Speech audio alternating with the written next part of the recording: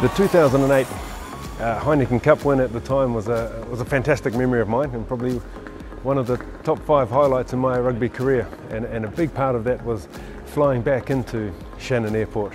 And I, I distinctly remember, you know, uh, standing up on the balcony here and, and looking at all, all our fans and supporters who had travelled with us and travelled out to, to greet us here at the airport. And, uh, you know, it's, it's a memory that'll stay with me for a long time.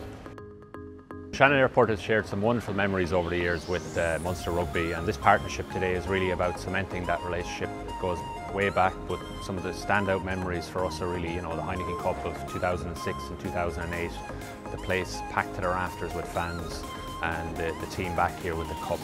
Um, and you know those memories are echoed uh, you know continually throughout the years on, on various travels that they've had, fans celebrating and commiserating over the years. For us, it's a really logical partnership. They're all about community, they're all about loyalty, and they have a terrific fan base.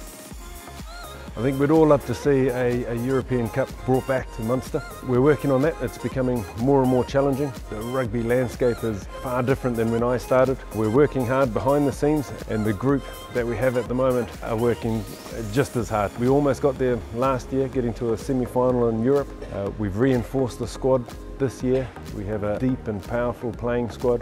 I guess in my new role, I'd look to continue growing our business network, growing our connectivity with our our supporters, our fans, both uh, locally but also internationally. There's a lot to be done. We'd be looking to push hard and obviously at the start of a season like this, uh, expectations are high, but we'll be doing everything we can to, to replicate that 2008 night back here at Shannon Airport.